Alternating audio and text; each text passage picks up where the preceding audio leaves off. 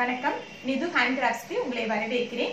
நாம இன்னைக்கு குக்கிங் வீடியோல மசாலா இட்லி எப்படி செய்யறதுன்னு பார்க்கலாம். ஸோ நம்ம ஜென்ரலா வீட்ல நார்மல் இட்லி செய்யறதை விட மசாலா இட்லி செஞ்சோம் அப்படின்னா ஒரு டிஃப்ரெண்ட் ரெசிபியாகவும் இருக்கும். அதே மாதிரி ஈவன் இட்லி பிடிக்காதவங்களுக்கு கூட இந்த மசாலா இட்லி ரொம்ப பிடிக்கும். நீங்க ஜஸ்ட் ட்ரை பண்ணி பாருங்க. எல்லாத்துக்குமே ரொம்ப பிடிக்கும். வாங்க மசாலா இட்லி எப்படி செய்யறதுன்னு பார்க்கலாம். அதுக்கு முன்னாடி இது வரைக்கும் நிது ஹேண்ட் கிராஃப்டை சப்ஸ்கிரைப் பண்ணாதவங்க மறக்காம சப்ஸ்கிரைப் பண்ணிருங்க. வாங்க பார்க்கலாம். ஸோ இந்த மசாலா இட்லி செய்யறதுக்கு என்னென்ன பொருட்கள் வேணும்னு ஃபர்ஸ்ட் பார்க்கலாம். இதுக்கு வந்து இட்லி நாலு இட்லி எடுத்துக்கிறேன். அதுக்கப்புறமா குடமிளகா கேப்சிகம் ஸோ இதில் வந்து பாதி கேப்சிகம் மட்டும் எடுத்துக்கிறேன். சீடு எடுத்துட்டு ஜஸ்ட் அந்த கேப்சிகமை பாதியை டைஸாக கட் பண்ணி எடுத்து வச்சுக்கலாம். அதுக்கப்புறம் இதுக்கு தேவையான அளவுக்கு வெங்காயம் தக்காளி அதையும் நான் சாப் பண்ணி வச்சுக்கிறேன். ஒரு மீடியம் சைஸ் வெங்காயமும் ஒரு மீடியம் சைஸ் தக்காளியும் சாப் பண்ணி எடுத்து வச்சுருக்கிறோம். அதுக்கப்புறமா இதுக்கு ஜீரகம் ஷெஸ்வான் சாஸ் ஒரு ஸ்பூன் இந்த சாஸ் இல்லைன்னா பரவாயில்ல. இது நான் வீட்லயே ரெடி பண்ண சாஸ் தான். இது எப்படி ரெடி பண்றது நான் இன்னொரு வீடியோல சொல்றேன். இந்த சாஸ் இல்லைன்னா இதுக்கு பதிலாக நம்ம வீட்டில் வரமிளகாவை ஒரு வார்ம் வாட்டர்ல லைட்டா சூடு இருக்கிற தண்ணியில ஒரு பத்து வரமிளகாவை ஊற வச்சு ஒரு கால் மணி நேரம் கழிச்சு தண்ணியை ஃபில்டர் பண்ணிட்டு அந்த மிளகாவை மட்டும் மிக்சியில போட்டு நல்லா பேஸ்டா கிரைண்ட் பண்ணி எடுத்து வச்சுக்கோங்க. அது வந்து ரெட் சில்லி பேஸ்டா எடுத்துக்கலாம். அதுக்கப்புறம் பாவுபஜி மசாலா ஒரு ஸ்பூன் ஸோ இந்த மசாலா இல்லைனாலும் இதுக்கு பதிலாக வீட்டில் கரம் மசாலா அப்புறமா வரமிளகாய் தூள் chilli powder red chilli powder அப்புறம் ஆம்ச்சூர் பவுடர் ஆம்ச்சூர் பவுடர் அப்படின்னா காஞ்ச மாங்காவோட பவுடர் அது இல்லைனாலும் பரவாயில்ல. வெறும் நீங்க கரம் மசாலாவும் ரெட் சில்லி பவுடர் மட்டும் ஆட் பண்ணிட்டு கடைசியில லெமன் ஜூஸ் ஆட் பண்ணிக்கலாம். அந்த மாங்காய் பவுடரே வந்து ஒரு புளிப்பு டேஸ்ட்டுக்காக தான். அது இல்லைனாலும் பரவாயில்ல. கடைசியில லெமன் ஜூஸ் ஆட் பண்ணிக்கலாம். அதுக்கப்புறம் காஸ்பூன் மஞ்சத்தூள் பூண்டு பேஸ்ட் கார்லிக் பேஸ்ட் மட்டும் ஜிஞ்சர் வேண்டாம். அதுக்கப்புறம் தேவையான அளவுக்கு எண்ணெய் அப்புறம் இந்த டிஷ்ஷுக்கு தேவையான அளவுக்கு உப்பு வேணும். கடைசியா இதுல வந்து வேணும்னா இந்த Kashmiri red chilli powder add பண்ணிக்கலாம். இது வந்து ஆப்ஷனல் தான். ஜஸ்ட் கலர் வந்து கொடுக்கறதுக்காக தான். இது வந்து ஆப்ஷனல் தான். வாங்க எப்படி செய்யறதுன்னு பார்க்கலாம். ஸோ ஒரு பேன் வச்சு சூடானதுக்கு அப்புறமா ரெண்டு ஸ்பூன் ஆயில் விட்டுக்கலாம். ஸோ ஆயில் சூடானதும் பயிர் சூடானதுக்கு அப்புறமா தான் நம்ம வந்து அடுத்தடுத்து பொருள்கள் எல்லாம் ஆட் பண்ணணும். கால் ஸ்பூன் ஜீரகம் ஆட் பண்ணிக்கலாம். அது நல்லா பொரிஞ்சதுக்கு அப்புறமா வெங்காயம் ஆட் பண்ணிக்கலாம். நல்லா பொரியட்டும்.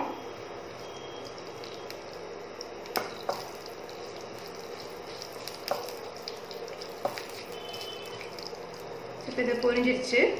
இதில் வந்து வெங்காயம் ஆட் பண்ணிக்கலாம். ஒரு மீடியம் சைஸ் வெங்காயம் பெரிய வெங்காயம். அதை நல்லா சாப் பண்ணி ஆட் பண்ணிக்கலாம். இது நல்லா வதங்கட்டும். இது நல்லா மசிஞ்சு வரக்காக இதில் கொஞ்சமாக உப்பு ஆட் பண்ணிக்கலாம். ஆல்ரெடி நம்ம இட்லிக்கே உப்பு போட்டிருக்கோம். அதனால் டிஷ்ஷுக்கு பார்த்து உப்பு போட்டுக்கலாம். லைட்டாக உப்பு ஆட் பண்ணிக்கிறேன். ஸோ வெங்காயம் நல்லா வணங்கினதுக்கு அப்புறமா இந்த மாதிரி லைட்டாக கலர் சேஞ்ச் ஆகும். கோல்டன் கலரில் அப்படி ஆனதுக்கப்புறம் நம்ம அரைச்சி வச்ச பூண்டு விழுது ஒரே ஒரு ஸ்பூன் மட்டும் ஆட் பண்ணிக்கலாம். கார்லிக் பேஸ்ட் மட்டும்தான். ஜிஞ்சர் வேண்டாம். அதை ஆட் பண்ணி பச்சை வாசம் போகிற அளவுக்கு வணக்கிக்கலாம். இப்போ நல்லா வணங்கி இதில் இந்த கார்லிக் பேஸ்டோட பச்சை வாசனை போயிடுச்சு ஸோ இந்த ஸ்டேஜில் நம்ம டொமேட்டோ ஆட் பண்ணிக்கலாம். மீடியம் சைஸ் தக்காளி கட் பண்ணி ஆட் பண்ணிக்கலாம் தக்காளி நல்லா வணங்கினதுக்கப்புறமா இதில் நம்ம சீடு எடுத்து கட் பண்ணி வச்ச ஹாஃப் கேப்சிகம் பாதி குடமிளகா ஆட் பண்ணிக்கலாம். இது லைட்டாக வேகிறதுக்காக கொஞ்சமாக தண்ணி தெளித்து விட்டுக்கலாம். லைட்டாக தண்ணி தெளித்து தான் விடுறேன். கேப்சிகம் வேகட்டும்.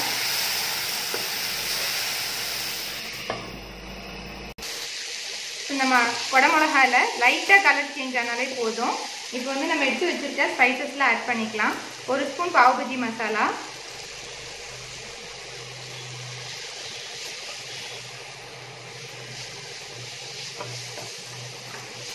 கால் ஸ்பூன் மஞ்சத்தூள்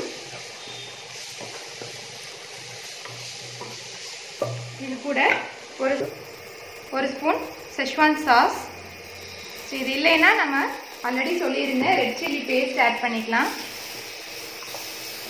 இதுதான் நம்ம காரத்துக்கு போட்டிருக்கிறோம். இது கருகாமல் இருக்கிறதுக்காக கொஞ்சம் தண்ணி ஆட் பண்ணிக்கலாம்.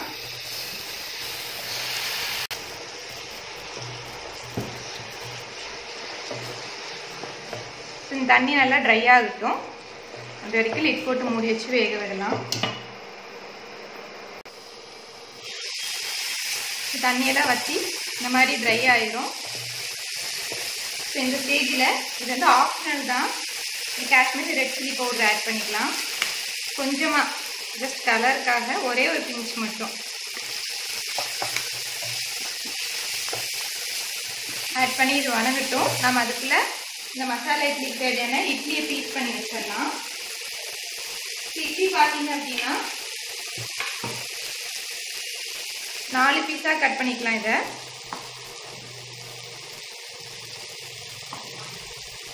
இந்த மாதிரி பீசஸாக கட் பண்ணி எடுத்துக்கலாம்.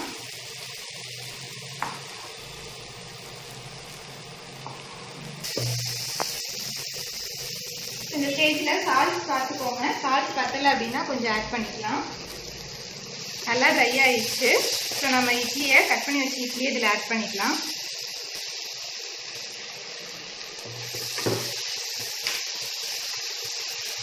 ஆட் பண்ணிட்டு நல்லா மிக்ஸ் பண்ணிக்கோங்க. இந்த மசாலா எல்லாமே இட்லியில் நல்லா பிடிக்கணும். ஸோ அப்படி ஆனதுக்கப்புறம் லாஸ்ட்டாக இறக்குறதுக்கு முன்னாடி ஒரு லெமனை ஹாஃப் லைம் மட்டும் புளிப்பு டேஸ்ட்டுக்காக புளிஞ்சுக்கோங்க புளிஞ்சிட்டு நல்லா மிக்ஸ் பண்ணிவிட்டு ஸ்டவ் ஆஃப் பண்ணிக்கலாம். இது எல்லா ப்ராசஸுமே வந்து ஸ்லோ குக்கில் தான் பண்ணணும். ஃப்ளேம் ஹையாக வச்சுக்க கூடாது. ஸோ ஃபைனலாக லைம் ஜூஸ் ஆட் பண்ணிவிட்டு இட்லியை நல்லா மிக்ஸ் பண்ணிவிட்டு அதோட சர்விங் பவுலுக்கு ஷிஃப்ட் பண்ணிக்கலாம்.